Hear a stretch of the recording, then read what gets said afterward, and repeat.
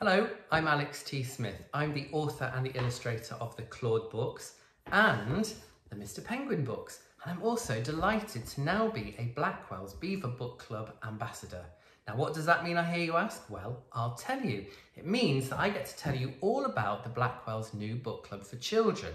So this summer, the lovely beavers at Blackwell's are challenging you to read five books and do a short review of them and take them into the bookshop. And once you've done that, you can win a badge. Now, it's quite tricky to choose some books, but luckily, the Blackwell's HQ people have got an idea to help you. You need to call into your local bookshop or give them a ring and get hold of one of these. This is your Blackwell's Beaver Book Club card, and inside there's a square. And inside that square, there's lots of other little squares. And in those squares are some ideas for the types of books that you could read. So, for example, read a book set in a school, or a book about an animal, or even the Blackwell's Children's Book of the Month.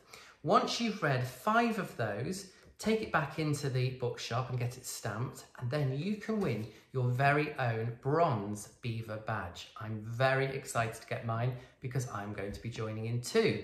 So again, all you need to do is call into your local bookshop or give them a ring, get hold of this and start reading.